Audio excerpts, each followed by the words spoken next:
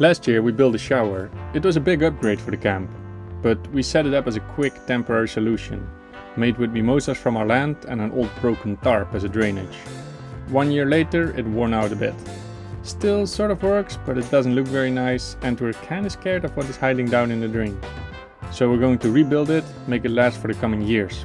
Install a new sink outside, because we're more people, and we're taking the chance to experiment with a new material, a possible alternative to cement.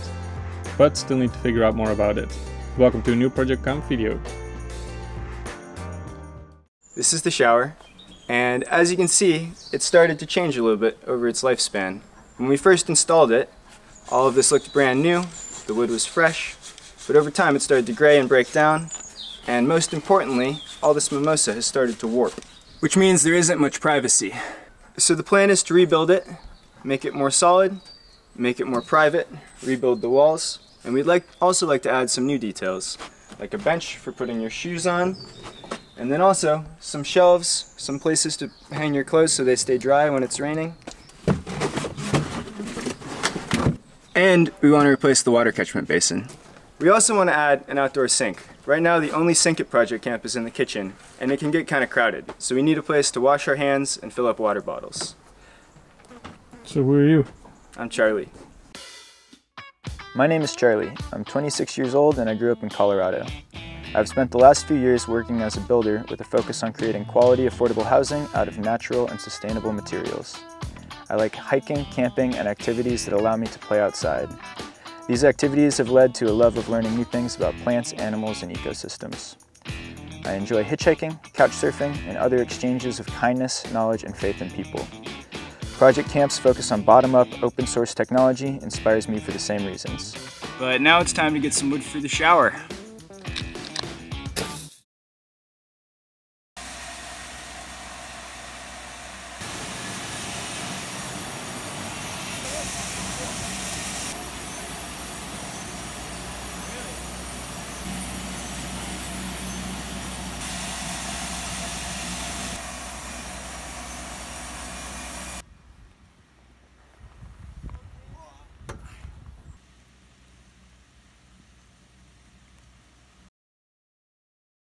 Now we have all our wood and we've got it measured to the lengths we need. We're gonna cut it into pieces and Emma's gonna help me. Yeah.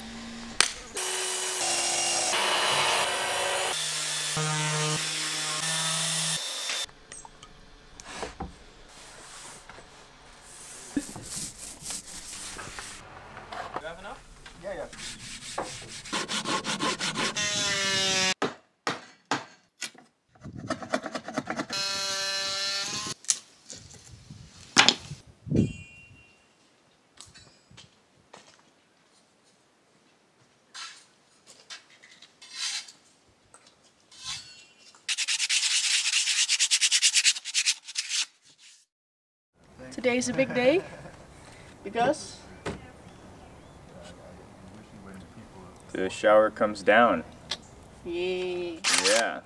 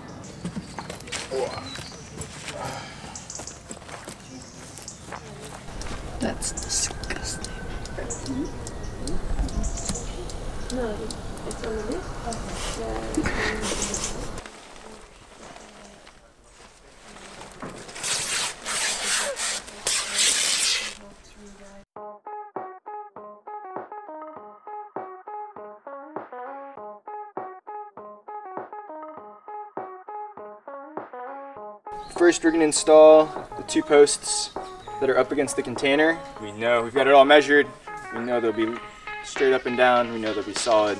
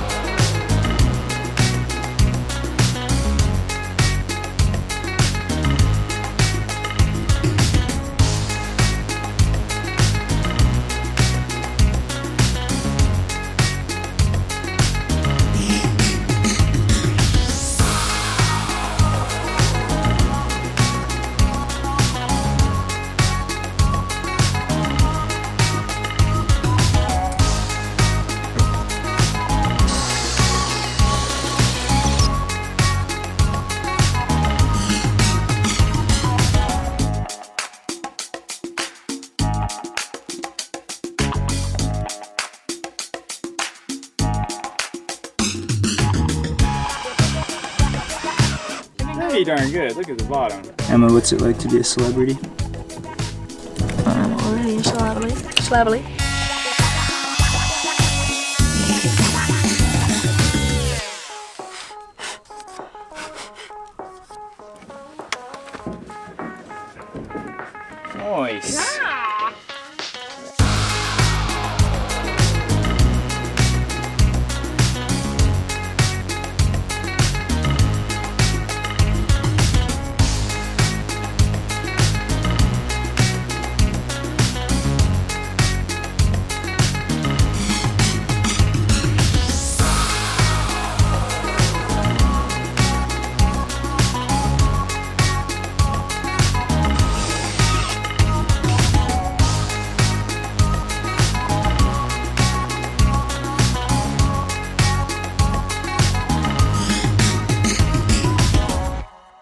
Of day one.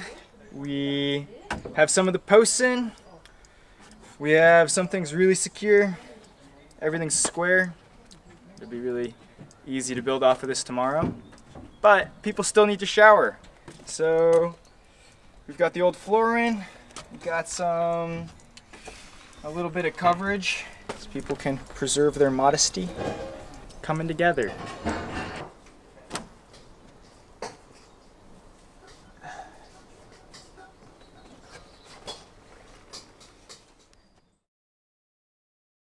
Morning two on the shower. We're gonna uncover it, let it dry out a little bit, and start work again.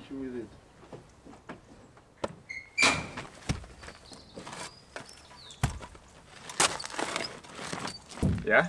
Yeah, man. Yeah, man. You see the line?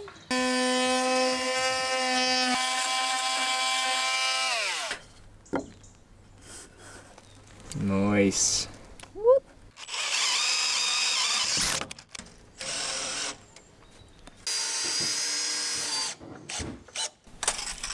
21.5.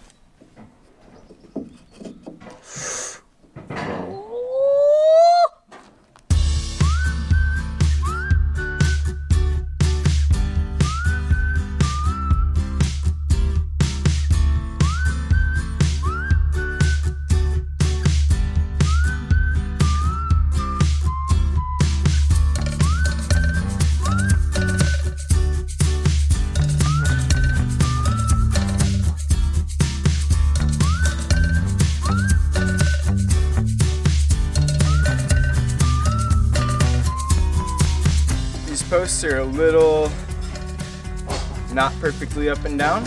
So we're gonna put in this diagonal to correct that before we fill in the holes and hopefully then it stays in place.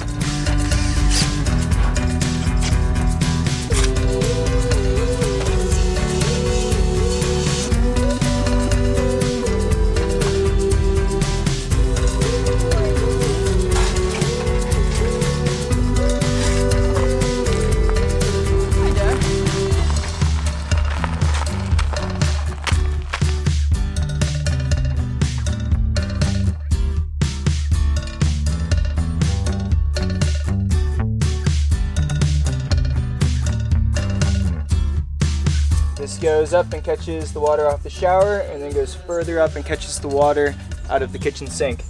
We're gonna put a splice in here so we can catch some water off the new sink.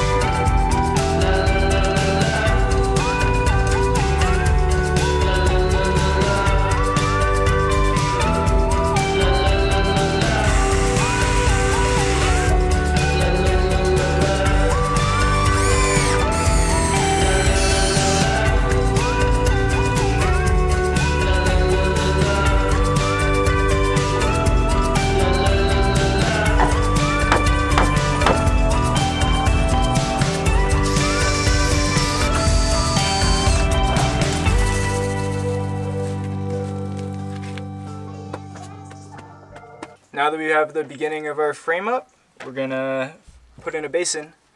But before we do that, we've got to learn about concrete. This is a bag of Portland cement. This is what it looks like. And when you mix it with sand and water, you get a material that makes up most of our modern world. We mix it into mortars, we make bricks themselves out of it. This is a face I made with some leftover cement we had. Took about two minutes and it will probably outlive all of us but it's a huge carbon emitter. And as people become more aware of how problematic cement can be, people are exploring a lot of cool new alternatives. One of these cool new alternatives is this stuff called magnesium phosphate cement. This is magnesium oxide. This is potassium phosphate. It's actually just fertilizer we bought at a hydroponic store. It's called Megabuds, so should be good stuff. And when you mix these two things together with some water, a chemical reaction happens and they bond together and form a solid that's a lot like rock. There's a lot of different recipes online that ask for different proportions of different things. So it's hard to sort through all this different information when you approach a project. As a result, probably most people wouldn't do it. So we decided to gather it all together and do some experiments and see how it goes. For the first test, we want to figure out the best ratio between magnesium and phosphate. And of course we need some water in there to kick off the reaction. We're going to keep that consistent the whole time, so it won't be a variable in this.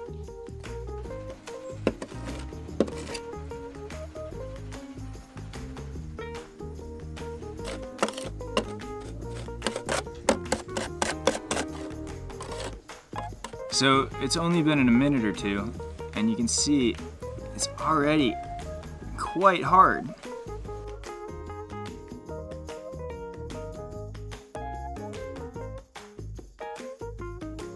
I put my hand on it, it's almost too hot to touch. And that's because it's an exothermic reaction.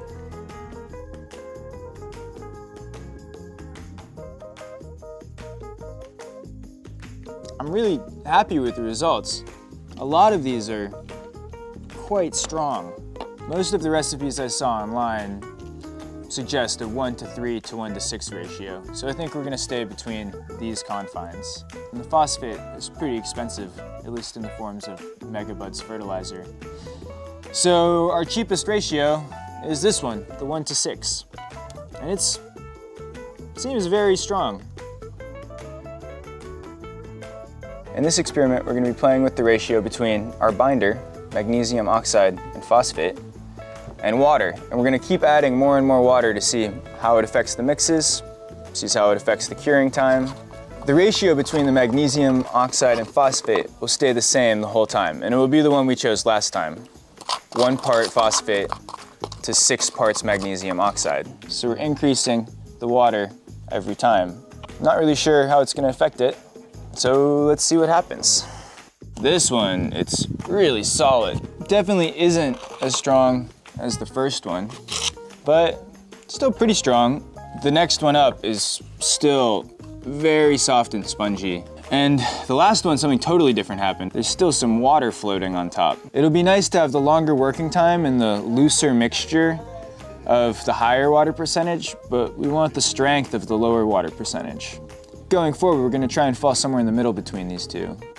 In this experiment, we're gonna be adding borax. The reason we're doing that is because supposedly it slows down the reaction time.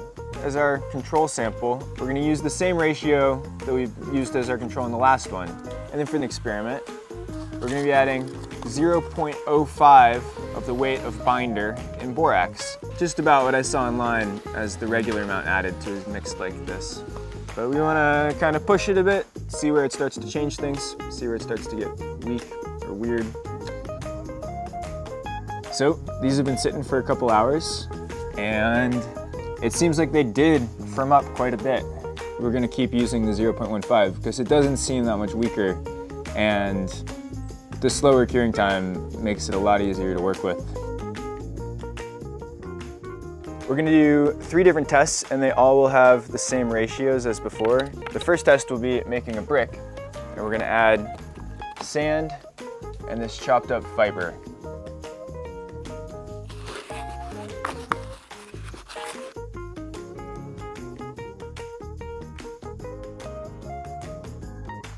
This next test, we're gonna use this bowl as a form and take burlap and run it through the mixture and then lay it over this bowl.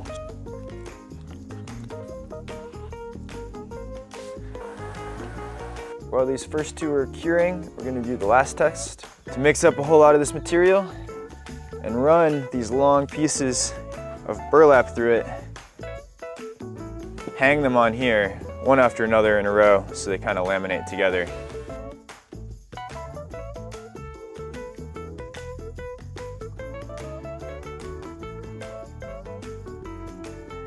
Now let's do some strength tests. It started to break a little bit at the bottom, but I think the fibers are doing a really good job of holding it together. I still like can't move it at all. I'm very impressed with how strong that was. Just for reference, this is a piece of a, a cinder block we have. If I tap it, it breaks just as easy. Here's the second one. It's super strong as well. Now we're gonna see if it's watertight. And it seems to be holding water really well. So this one turned out really well. It's super solid.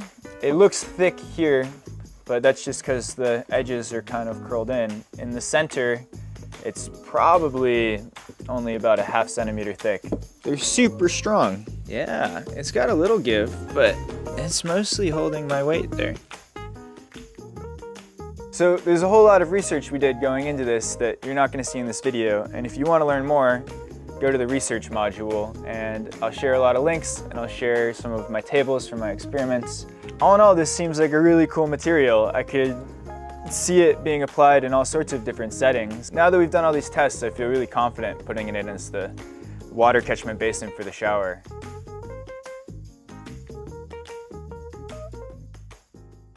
Now that we know a little bit about magnesium-based cements, we're going to take all this stuff and make the water catchment basin.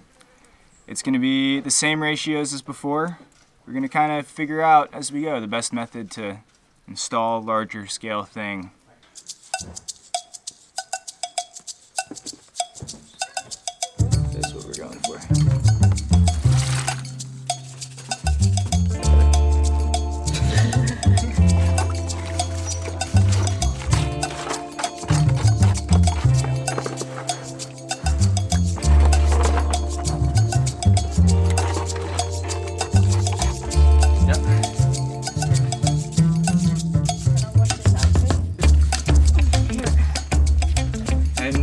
There's any leftover, I actually just dump it over here and I'm gonna spread it out.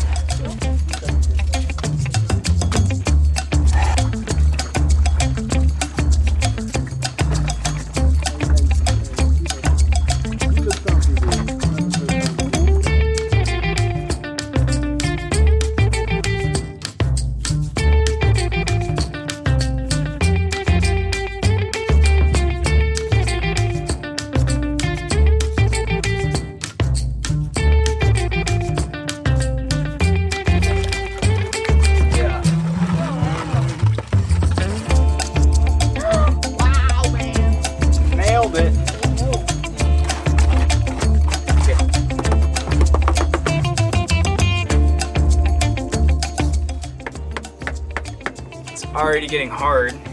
There's still some pores in the burlap in the burlap that I can see. So we're just gonna mix up a batch of it, not put any burlap in it, and just dump it all down here and spread it around and try and make it smooth. And it's just sort of a last waterproof layer to kind of smooth it all out.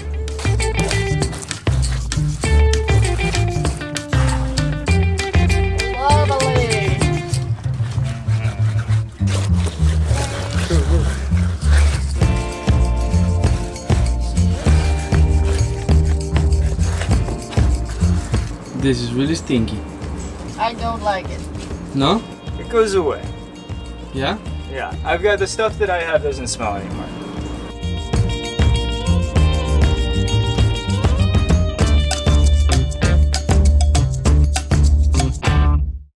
So, this is the basin after setting up overnight.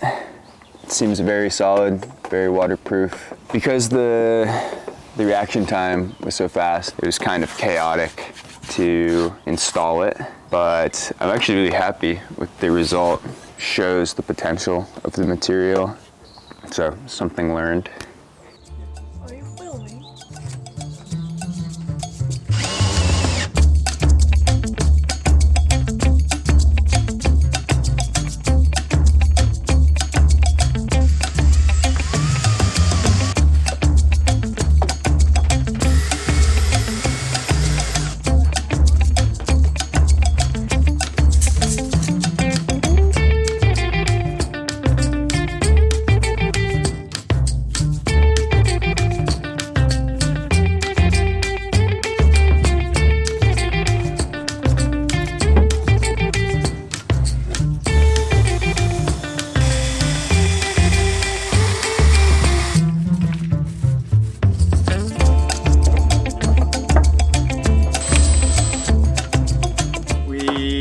We salvaged these boards from the old shower and we're gonna sand them a little bit, clean them up, and use them again in the new shower.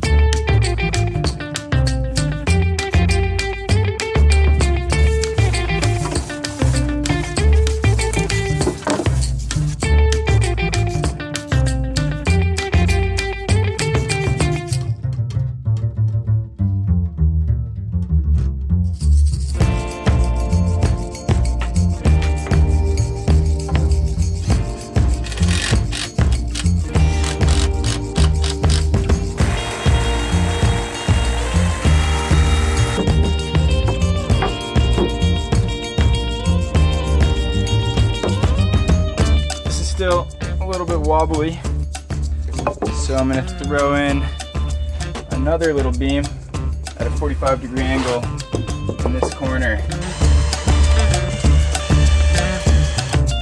Definitely a lot stiffer.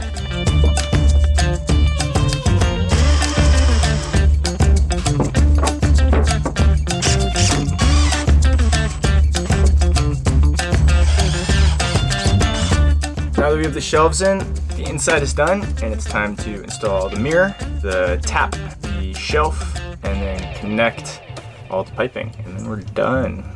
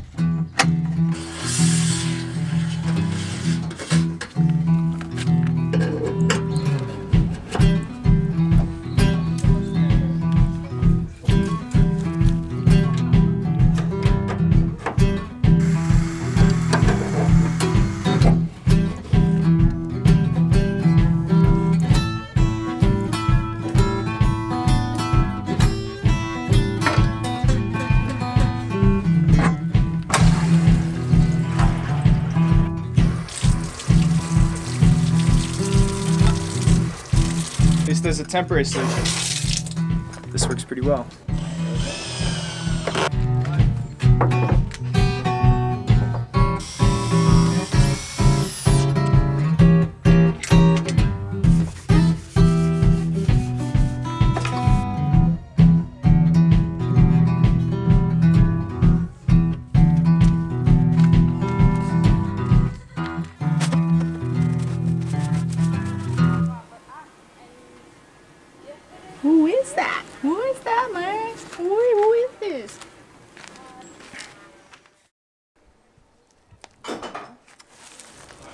So the shower is done and I want to show you a couple improvements and features. The planks are all a lot closer together and there's a lot more privacy.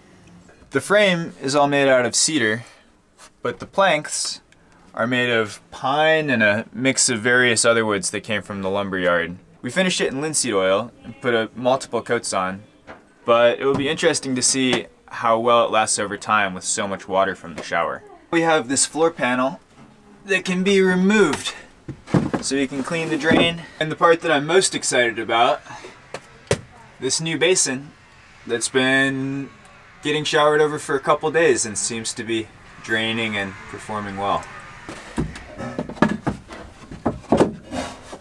We have a shelf for soap and some hooks to hang soap. We have another shelf for clothes and hooks for towels and a bench to put on our shoes. We got this sink secondhand from a neighbor and plumbed in some UV filtered drinking water so that people can fill up their cups and water bottles here and won't be going into the kitchen and crowding it up during meal cooking times. We got this mirror from a junkyard, put in a shelf, got some nice flowers, and around the whole thing we spread some of the wood chips we got from our mimosa trees. And the goal of that is just to keep it a little less muddy, make it a little cleaner for our freshly showered feet. And now, camp has an upgraded shower. I hope people enjoy it. See ya.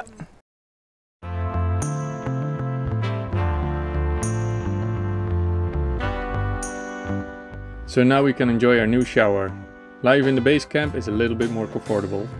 And we started exploring more sustainable alternatives to cement. Let's see how this goes in the future, still a whole world to discover. Join the discussion in the research module to find the tutorial and detailed information about all the experiments. We'll also keep some updates there if you want to follow it. And in the next video we'll be working in the ruin, putting up the interior walls and setting up basic water and electricity connections so it starts looking more like a home. Quite excited about it. Click subscribe and we'll see you again next week. Thanks for watching. Hey, if you like what we do and already want to see the next video right now, you can support us on Patreon. And you can also watch them without ads.